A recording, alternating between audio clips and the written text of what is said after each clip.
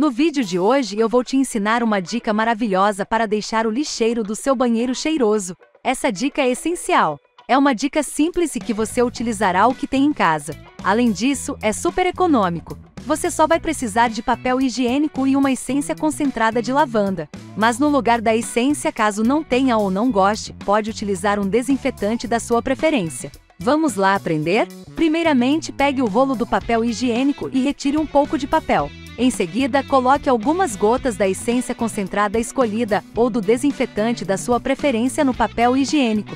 Fica a seu critério. Coloque quantas gotas quiser. Depois, dobre o papel de 3 a 4 vezes e aplique a essência mais uma vez. O papel higiênico deve ficar bem úmido. Logo após, coloque o papel dobrado dentro do lixeiro do banheiro. A manipulação do papel higiênico vai fazer com que o cheiro de dentro exale por todo o banheiro.